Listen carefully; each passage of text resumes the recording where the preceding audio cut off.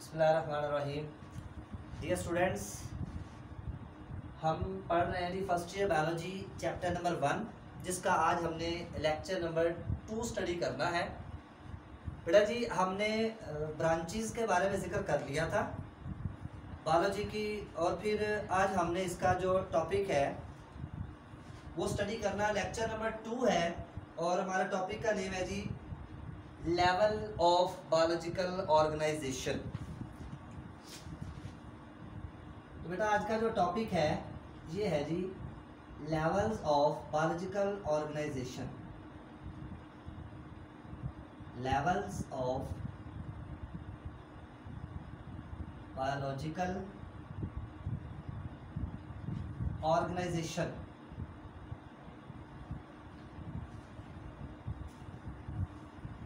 तो बेटा जी लेवल्स ऑफ़ बायोलॉजिकल ऑर्गेनाइजेशंस में हमने one by one living organisms के लेवल्स किस तरह से स्टडी होते हैं वो देखने हैं।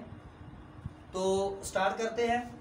फ़र्स्ट ऑफ़ ऑल जब हम ज़िक्र करते तो बेटा जी, हम एक्सप्लेन करेंगे सबसे पहले सब एटॉमिक लेवल से। Sub atomic level right after sub atomic level हम देखते लेवल सब एटॉमिक लेवल के बाद हम बात करते एटॉमिक लेवल की. Atomic level is it clear next one atomic level से आगे जब हम ज़िक्र करेंगे लेवल का, वो होगा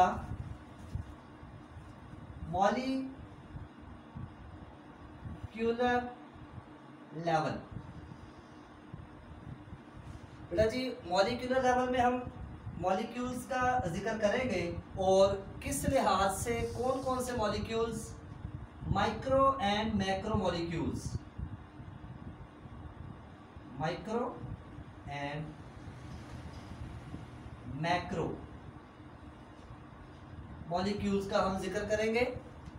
और फिर माइक्रो और मैक्रो मॉलिक्यूल्स के बाद जो हम अगला लेवल स्टडी करते,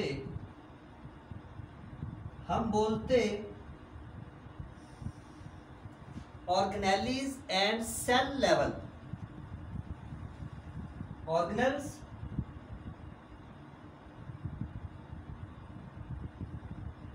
and cell level organelles and cell level के बाद हमें पता है कि जब ये एक सेल बन चुका सेल बनने के बाद हम इसकी स्टडी करते हैं टिश्यू लेवल की। Tissue level one by one हम इसके बायोलॉजिकल ऑर्गेनाइजेशन के लेवल्स को देख रहे हैं। ऑर्गेनेलीज एंड सेल लेवल के बाद टिश्यूज लेवल है। टिश्यूज लेवल के बाद नेक्स्ट जो लेवल हम स्टडी करते organ and organ system level dear students organ and organ system level. After the study of tissues level, the organ and organ systems level studied. Next level after the organ level and organ system level. This is very important level that is called individual species. Individual level यानी फर्द individual को हम बोलते हैं फर्द। एक फर्द वाला जो लेवल होगा। अब देखिए, आपको पता है कि इंडिविजुअल लेवल के बाद जिस लेवल का हम मुताल करते हैं, जिस लेवल पे हम जाकर स्टडी करते हैं, बेटा जी इंडिविजुअल लेवल के बाद हम ज़िक्र करते पॉपुलेशन पॉपुलेशन का ज़िक्र करेंगे।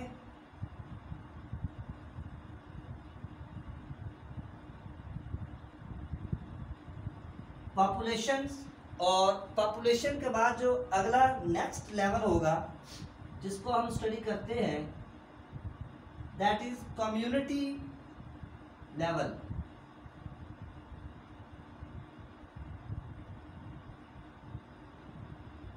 community level after the study of community level हम ज़िक्र करते इकोसिस्टम का। इकोसिस्टम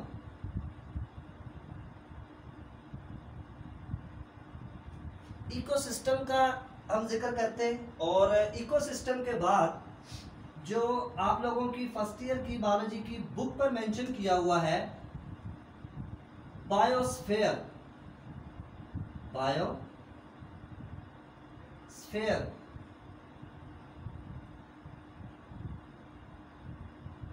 बायोस्फेयर लेवल अब बेटा जी, ये लेवल्स कंप्लीट हो गए। दोबारा देख लें।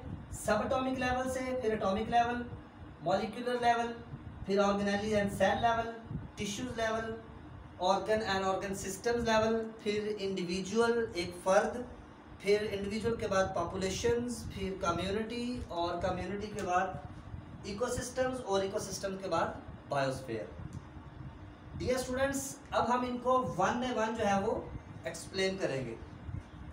First of all sub atomic level हम यहाँ पे ज़िक्र करते हैं. सब एटॉमिक लेवल डियर स्टूडेंट सबसे पहले sub atomic level sub atomic level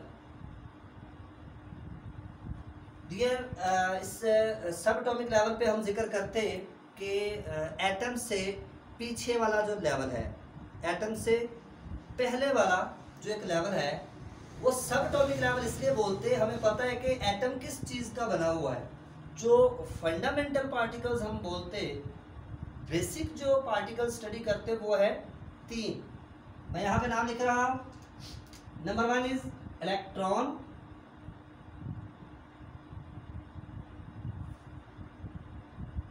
Number two proton.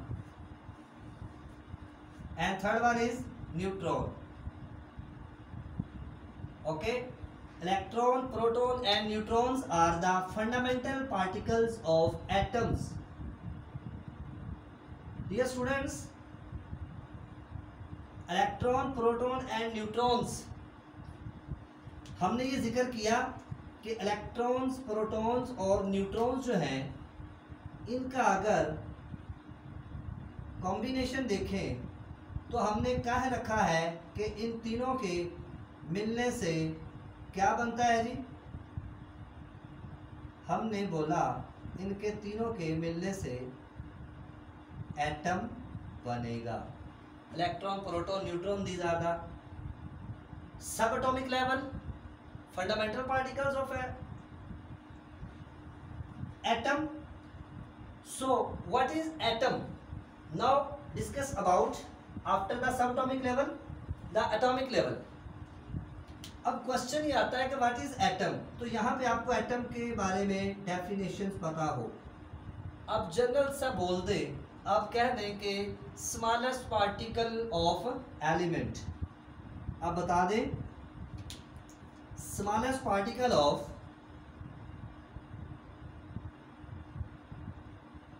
smallest particle of element आप बता दें जी कि छोटे से छोटा किसी एक एलिमेंट का जर्रा जिसको हम एटम बोलते हैं। ओके अब यहाँ पे ना एटम से नेक्स्ट जो लेवल है, वो है मॉलिक्यूलर लेवल तो बेटा मॉलिक्यूलर लेवल का जब हम ज़िक्र करते, आप देखें कि मोलेकुलर लेवल पे जब स्टडी करते हैं ना तो हमें सबसे पहले मॉलिक्यूल्स की डेफिनेशन का पता होना चाहिए। हम बोलते molecular level okay molecular level को बेटा जी, सबसे पहले हमने इसकी डेफिनेशन देखनी है व्हाट इज़ मॉलिक्यूल्स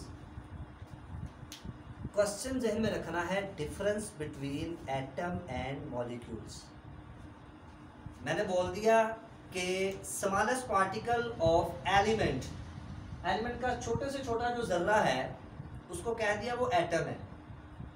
लेकिन मॉलिक्यूल्स की जब डेफिनेशन करते हैं तो आप बोलते कि combination of same or different atoms थोड़ा सा फ़र्क है बस।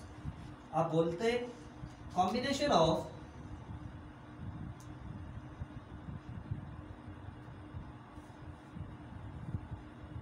combination of atoms यानी जब एटम्स जुड़ेंगे, अब इस बात को ध्यान में रखना है, कौन से या तो सेम या फिर डिफरेंट तो या तो सेम या फिर डिफरेंट एटम जब जुड़ेंगे तो वो बनाएँगे जी मॉलिक्यूल ये मॉलिक्यूल की डेफिनेशन बता दी एटम की डेफिनेशन बता दी, फ़र्क बता दिया. ओके अब हम ज़िक्र करते हैं कि मॉलिक्यूलर लेवल पे जब मॉलिक्यूल की स्टडी कर लेते, हमें पता है कि लिविंग बॉडी जो है, हमारी आप लोगों की बॉडी 16 एलिमेंट से मिलकर बनी हुई है। मैंने लास्ट टाइम लेक्चर में ज़िक्र किया था कि 118 एलिमेंट्स 118 एलिमेंट्स जो कि प्रोडिक टेबल में मौजूद है 92 एलिमेंट्स नेचरली हैं, बाकी जो है वो प्रिपेयर है लेबॉर्ट्री में या खुद से क्रिएट किए हुए, बनाए हुए हैं। 92 एलिमेंट्स में से 16 एलिमेंट्स हमने बोला कि बायो एलिमेंट्स कहलाएँगे।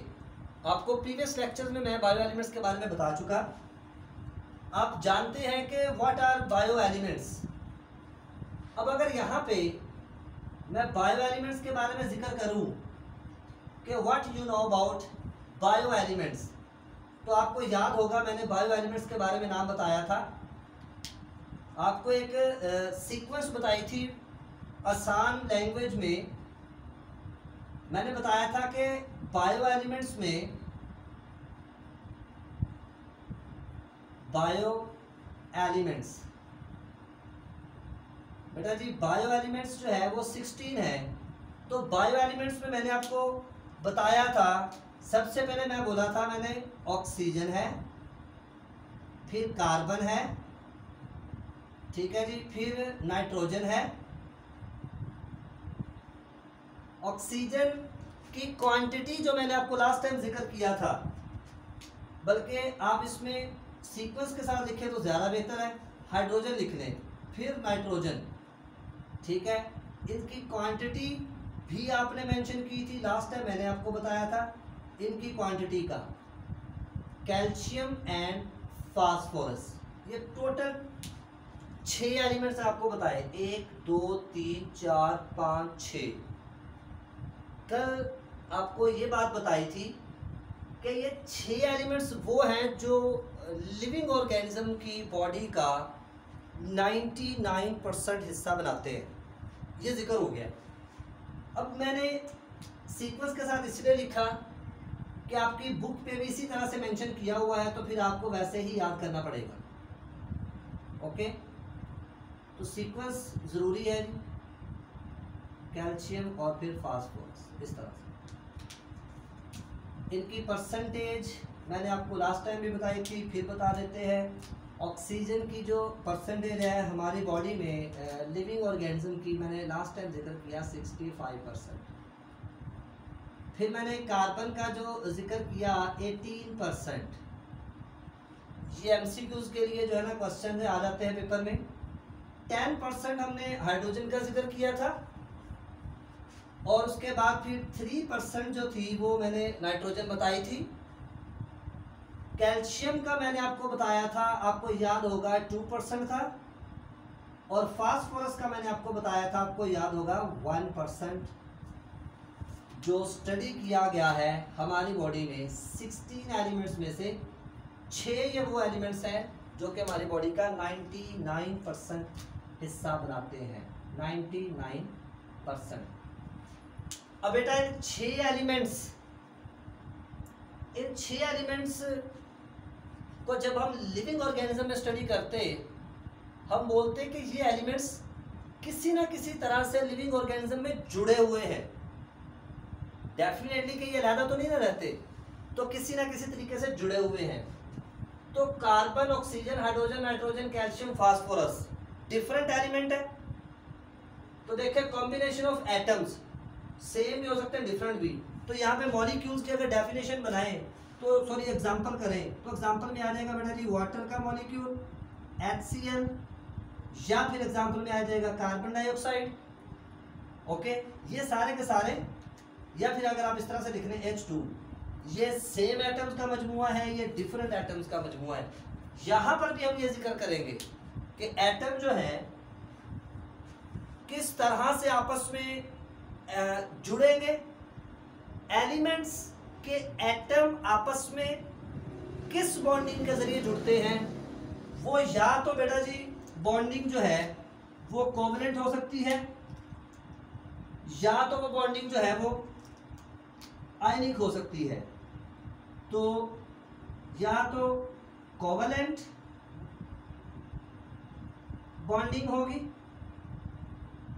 या फिर आयनिक बॉन्डिंग होगी।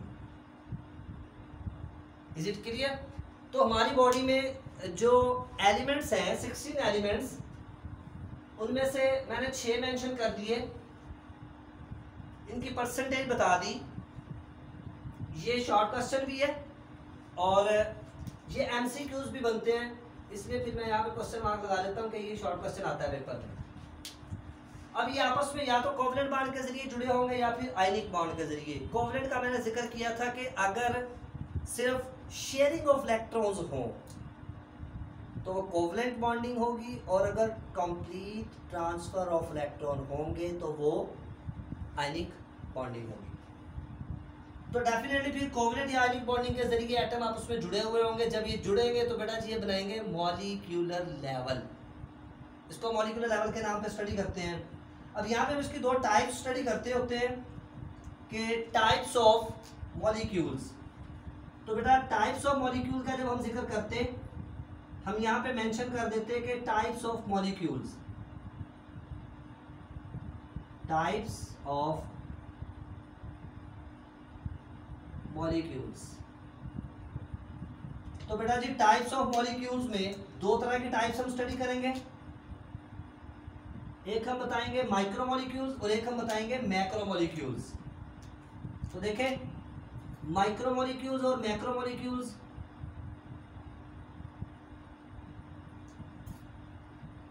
और एक दूसरी जो हम स्टडी करेंगे दैट इज़ तो देखें तो मैंने कहा दो टाइप्स है मॉलिक्यूल्स की। Number one micro molecules number two macro molecules micromolecules and macromolecules अब इसमें भी मजीद देख लें। बेटा माइक्रो का मतलब होता है स्मॉल एंड मैक्रो का मतलब होता है large the molecules having low molecular weight micromolecules कहलाएँगे और जो मॉलिक्यूल्स का हाई मॉलिक्यूलर वेट है, ये प्रीवियस बातें हैं नाइन टेंथ में पढ़ी हुई आप लोगों ने। वो मैक्रोमोलिक्यूल्स कहलाएगा। तो बेटा जी definitions the molecule having low molecular weight low molecular weight ऐसे मॉलिक्यूल जिनका लो मोलेकुलर वेट है, वो माइक्रो मॉलिक्यूल्स हैं।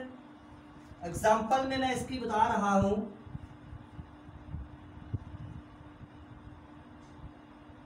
एग्जांपल मैंने आपको बता दी। इसकी है बेटा जी वाटर कार्बन डाइऑक्साइड और दो molecules having high molecular weight ऐसे मॉलिक्यूल जिनका हाई मॉलिक्यूलर वेट है high molecular weight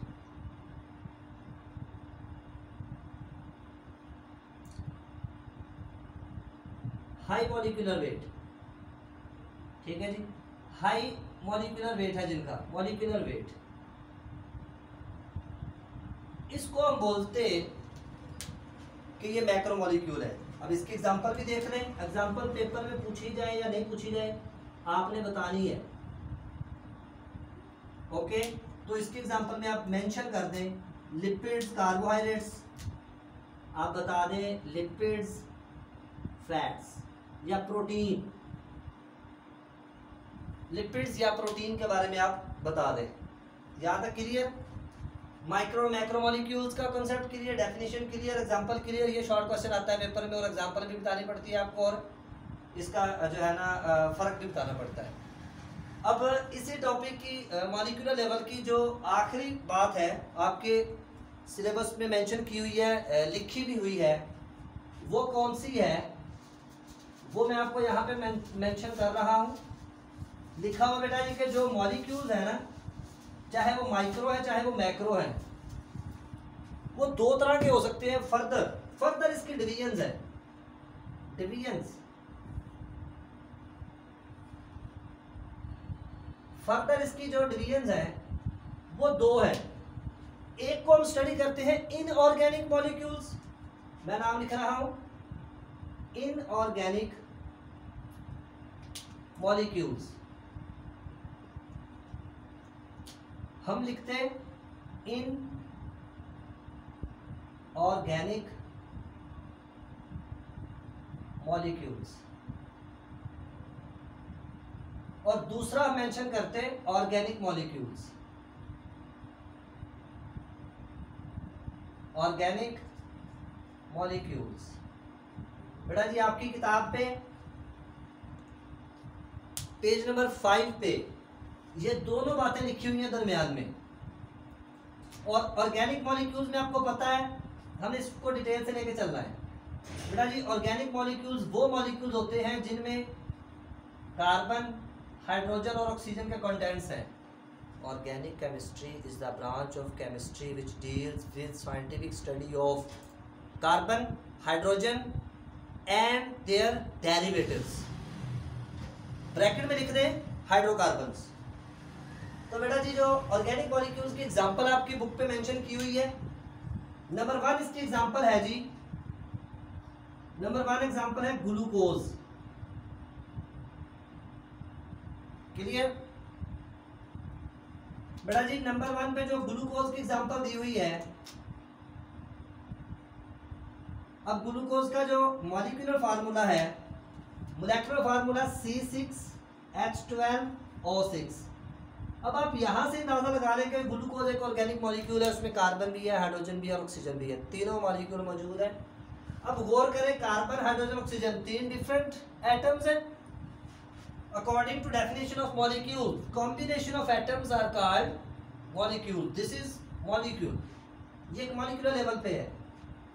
अब ग्लूकोज का स्ट्रक्चर फार्मूला जो है वो शो करते हैं। आपकी बायोलॉजी की जो बुक है इसमें ग्लूकोज का स्ट्रक्चर शो किया हुआ है। ठीक है? तो चैप्टर नंबर टू जो कि आपका बायोकेमिस्ट्री के रिलेटेड है, इसमें 21 पेज जो है उसके एंड पे लिखी हुई है डेफिनेशन आप इसका पेज नंबर 21 देखें, और उसके एंड पे आपको ये स्ट्रक्चर नज़र आएगा, जो मैं बनाने लगा हूँ। आप वहाँ पे देखते, आपको नज़र आएगा बड़ा खूबसूरत सा एक कार्बन फिर दूसरा कार्बन तीसरा number four five and six छ कार्बन है क्योंकि सी सिक्स है।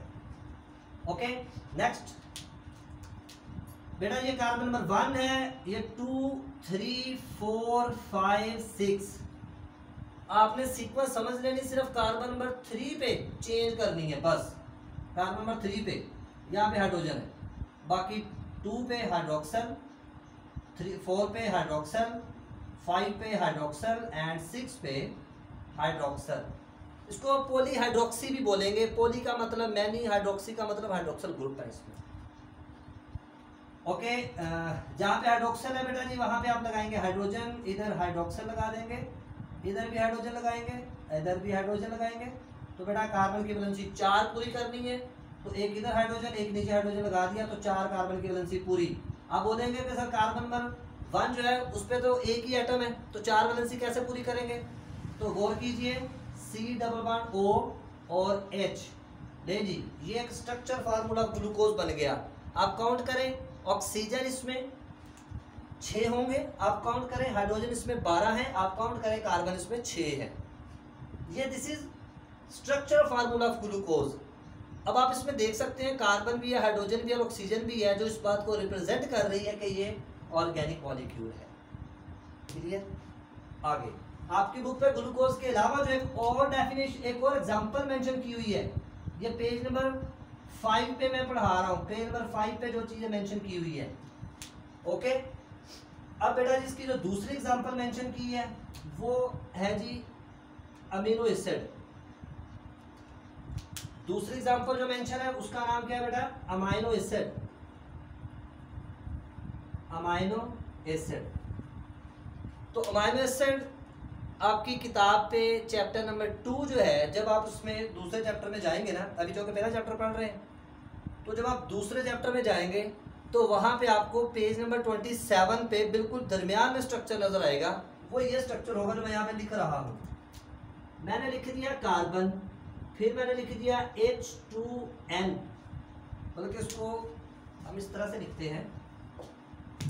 कार्बन फिर हमने लिख दिया, एक तरफ़ इसके क्या लगाएँगे जी? Hydroxyl group sorry carboxylic group okay एक तरफ़ हम इसके लगा देंगे एच सॉरी आर एक तरफ़ हम इसमें लगाएँगे एच और एक तरफ़ हम इसमें लगाएँगे एच टू एन आपको वहाँ से मिल जाएगा, ये कार्बोक्सिलिक ग्रुप है। अल्फ़ा कार्बन और ये अमाइनो ग्रुप इसमें भी देखिए कार्बन हाइड्रोजन और ऑक्सीजन है, ये शो कर रहा है कि ऑर्गेनिक मॉलिक्यूल है। क्लियर नेक्स्ट आपके बुक पे जो एग्जांपल मेंशन की हुई है, बेटा वो एग्जांपल है fatty acid and glycerol fatty acid and glycerol की एग्जांपल मेंशन की हुई है।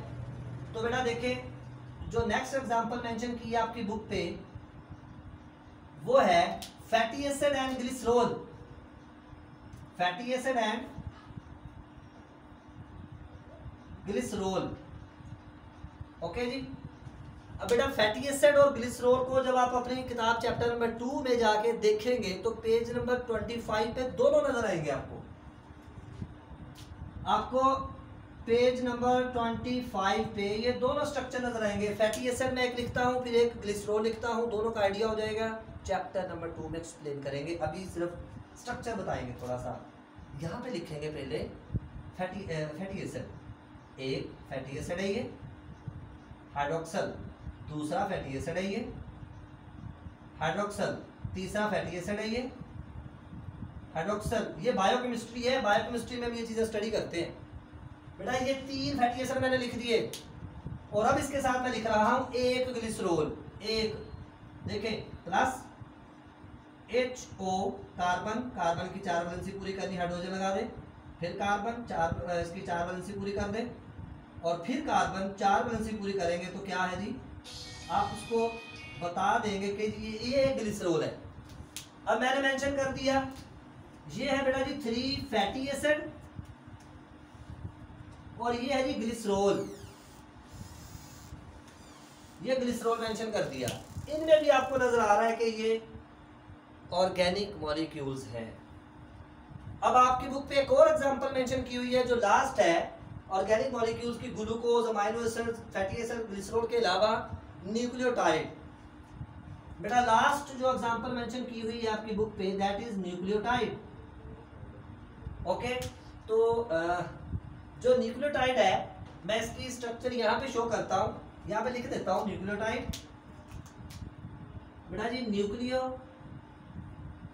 टाइड और आपकी बुक पे मेंशन किया किसके एग्जांपल्स न्यूक्लियोटाइड्स की. तो याद रहे एटीपी एडीपी और एएमपी जो है बेटा जिसकी एग्जांपल्स है एडिनोसिन ट्राइफास्फेट एडिनोसिन डाइफास्फेट और एडिनोसिन मोनोफास्फेट तो बेटा आपको पता है कि न्यूक्लियोटाइड में बेसिक चीज़ें कौन सी है? पाँच कार्बन है और पेंटोज शुगर है और नाइट्रोजिनस बेस है ओके तो मैं यहाँ पे आपको एटीपी का एक जनरल फार्मूला बना के दिखा देता हूँ जिससे आपको आइडिया हो जाएगा क्लियर हो जाएगा। तो मैं इसको थोड़ा सा क्लियर कर रहा हूँ यहाँ पे। ठीक है? यहाँ पे मैं इसका स्ट्रक्चर ड्रॉ करूँगा। स्मॉलर पार्टिकल काफ़ी। यहाँ पे मैं एटीपी का स्ट्रक्चर ड्रॉ करूँगा। इस जगह पे। एटीपी एटीपी एडिनोसिन ट्राइफॉस्फेट तीन फास्फेट इसमें लगे हुए हैं। लास्ट बात है ये। बेटा, इसको समझ लेना है आपने। तो देखें एटीपी एक न्यूक्लियोटाइड है। तो ये स्ट्रक्चर गौर कीजिएगा जरा। ये एटीपी का स्ट्रक्चर बनाने लगा एटीपी का पाँच कार्बन वाली शुगर अब यहाँ पे आपने मेंशन करनी है एडिनिन